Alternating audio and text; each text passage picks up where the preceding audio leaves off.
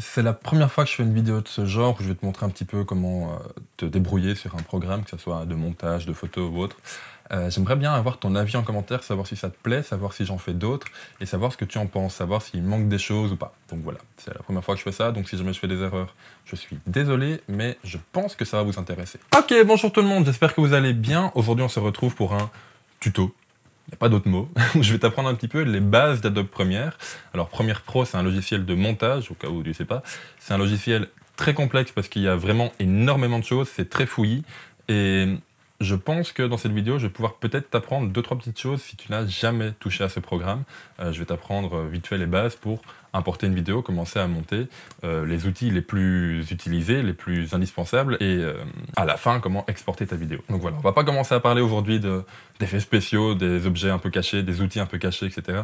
Vraiment juste la base de façon à ce que tu fasses ta vidéo. Alors ma tronche, tu vas la voir disparaître de façon à ce qu'on se retrouve tout de suite sur le programme de montage à l'ancienne, tu vois, quand les youtubeurs mettent leurs mains dessus, un peu genre euh, comme ça. Ok, on se retrouve ici donc sur le logiciel de montage Adobe Premiere Pro. Alors j'ai la dernière version, la CC 2019. Euh, mais de toute façon, ça change pas énormément avec la 2018 ou 2017.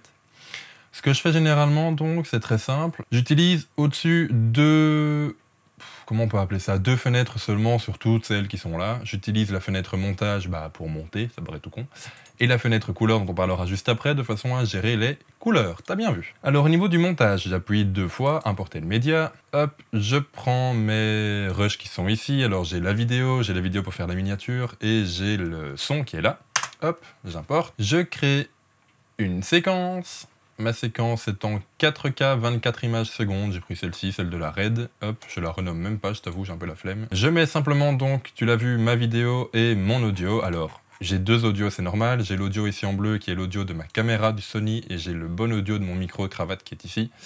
Alors, ma séquence est en 4K, en vrai 4K, tandis que ma vidéo est en UHD, donc un peu moins, c'est pour ça qu'il y a des bords noirs. Donc je fais simplement un clic droit, ajuster la taille de l'image, voilà. Alors, qu'est-ce que je peux te donner comme conseil? Ben simplement, moi ce que je fais déjà pour commencer, c'est synchroniser. Donc, je sélectionne les deux, simplement. Clic droit, synchroniser.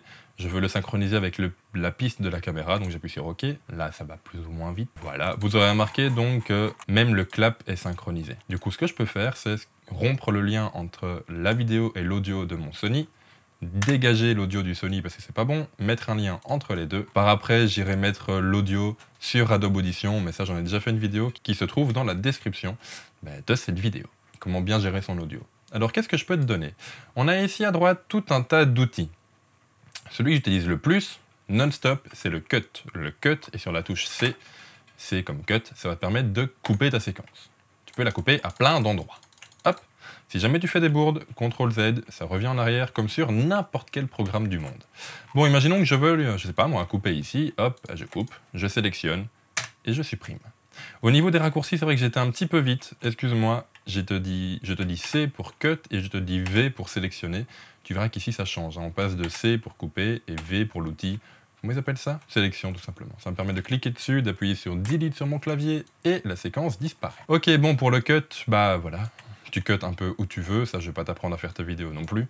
C pour cut, V pour sélection. Qu'est-ce que je peux te dire d'autre? Ce que je fais en général au tout début de mes vidéos, tu l'auras vu maintenant, je mets un petit peu mon Instagram. Alors comment est-ce que je fais ça? CTRL T, T comme texte, tu vois donc un nouveau calque de texte apparaître. Je clique deux fois dessus, je mets le texte que je veux. Évidemment, c'est quand je dois vous le montrer que je fais des fautes au clavier, pas marrant sinon.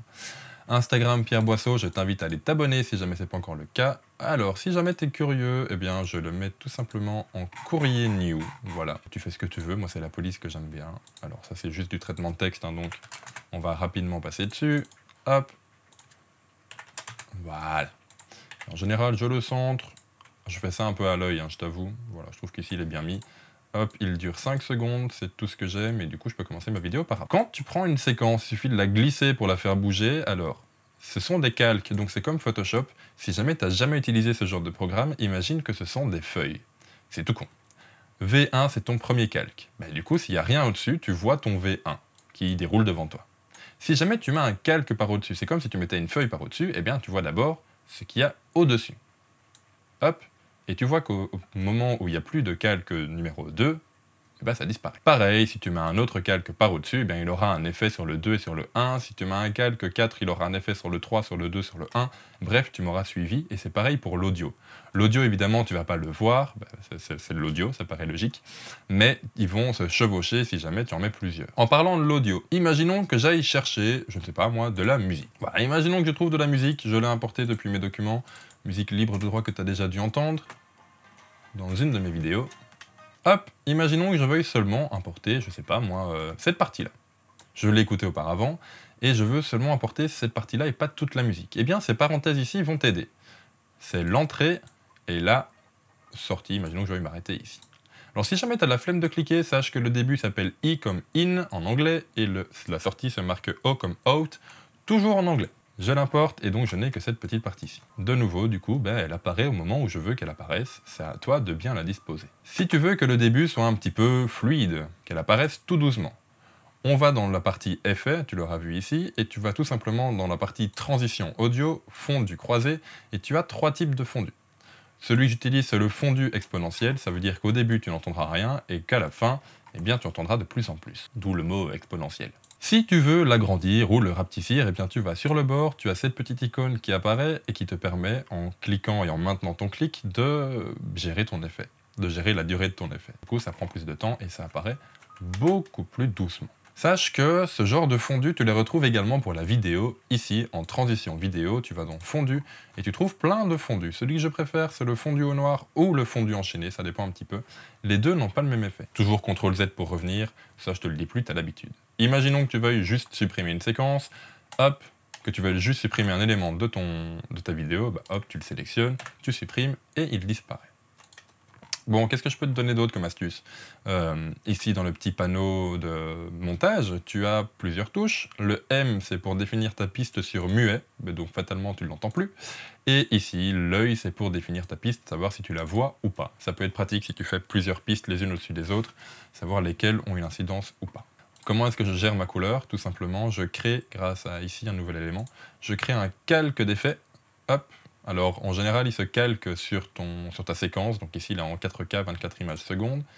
Il est ici, hop, et je vais le mettre sur toute ma vidéo.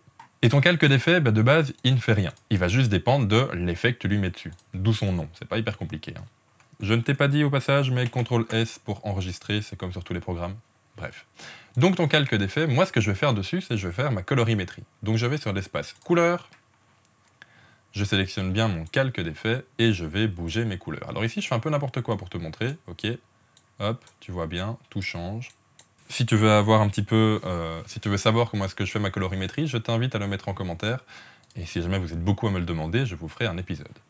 Pourquoi est-ce que je fais les modifications sur le calque d'effet et pas sur la vidéo en elle-même? Tout simplement parce que si jamais je fais de la merde, il suffit de supprimer mon calque d'effet et je retrouve ma vidéo d'origine. Ok? Bon, sur ton Mode couleur, tu as deux trois petites choses, correction de base, créatif, courbe, roue chromatique, TSL secondaire et vignette. Je ne vais pas vous parler de tout ça, je vais juste vous parler de la base, parce que c'est un peu le but de cette vidéo. Ce que j'utilise de base, c'est la correction de base. Paraît logique dit comme ça. Tu peux gérer ta température, au plus chaud ou au plus froid. De base, elle était déjà bien, juste la chauffer encore un tout petit peu. Tu peux gérer la teinte, vers le vert ou vers le rose. personnellement, je laisse à zéro. Hop. Alors, c'est comme sur Lightroom, il suffit de prendre ton curseur et de le faire glisser ou alors, tu choisis ici le numéro et tu vas toi-même mettre un numéro. L'exposition, c'est pareil, j'y touche pas trop parce qu'ici, je trouve qu'elle est bien faite, mais tu peux assombrir ou éclairer ta vidéo. Pareil, ici, je laisse à zéro. Niveau contraste, moi, j'en mets beaucoup. J'en mets entre 30 et 40. Voilà. Ça dépend un peu de ton image. Au niveau des tons clairs, pareil, je vais éclaircir un peu, je vais baisser un petit peu les tons foncés, augmenter un peu les blancs, et augmenter un peu les noirs. J'aime bien cet effet quand tu augmentes un peu les noirs. Au niveau du créatif, c'est ici que tu peux mettre un LUT. Alors des LUT, tu en as déjà de base qui sont dedans. Euh, je sais pas moi, le Fuji 3510. Mais voilà. Quand tu appuies sur V, évidemment, ça disparaît et ça revient. Tu as l'avant-après, tu peux gérer l'intensité de ton LUT, savoir si tu le mets à 200%, si tu le laisses à 100% ou si tu l'enlèves complètement. En général, les LUT, moi, je les laisse à 80%. De nouveau, ici, tu peux On va le mettre à zéro. Voilà. Tu peux gérer la décoloration, c'est-à-dire un petit peu le niveau de noir. Tu vois ici sur le graphique à gauche que ça augmente. Hop, donc ça augmente un peu ton... Bah, tes noirs sont beaucoup moins noirs du coup. En général aussi, je laisse à zéro celui-là. Tu peux augmenter la netteté de ton image ou au contraire la rendre floue. Tu peux gérer la vibrance et la saturation. Pareil, en général, tout ça, je laisse un peu à zéro. Euh, la saturation à 100, pardon, sinon ça fait du noir et blanc. Ton outil courbe est ici, tu as l'outil courbe pour le RVB, le rouge, le vert, le bleu, et ton outil courbe euh, normal. Ta roue chromatique, ben, c'est pour choisir un petit peu les couleurs de ton image, de ton moyen. Tu peux tirer tes tons moyens vers le bleu, tu peux tirer tes tons foncés vers le rouge, tu peux tirer tes tons clairs vers le jaune, et ça fait une image assez bizarre, on est bien d'accord. Hein. Avant, après, on est bien d'accord que j'ai fait un peu n'importe quoi. Ton TSL secondaire, c'est assez compliqué, j'en ferai à mon avis une vidéo également. Euh, en général, j'y touche pas de trop, mais voilà, c'est un truc un peu plus complexe. Et au niveau de ton vignettage, ben, tu peux rajouter de la vignette positive ou négative. Une fois que tu as fait tout ton montage, tu peux faire CTRL M pour exporter. Si jamais tu veux aller chercher manuellement, c'est fichier, exportation, média. Hop, tu choisis ton format de sortie. Alors moi, je prends le H264. C'est le format qui est pour moi le meilleur entre compression et qualité de vidéo. Préconfiguration, correspondance à la source. Je commence pas à embêter avec ça. Le nom de la sortie, c'est le nom où il va aller... Euh, c'est le dossier où il va apparaître. Alors ici, test 51.4 Zeiss Planar. Hop, je peux l'appeler, je sais pas moi, euh, vidéo finale ou n'importe comment d'autre enregistrer. En général, j'utilise la qualité de rendu maximale, mais ensuite, tu peux, si tu veux, et ça, c'est à toi de le faire, changer un petit peu ta largeur et ta hauteur de vidéo. C'est comme tu veux. Une fois que c'est fait, tu appuies sur exporter et il le fait tout seul. Ici, je vais l'annuler parce qu'évidemment, je n'ai pas fait le montage.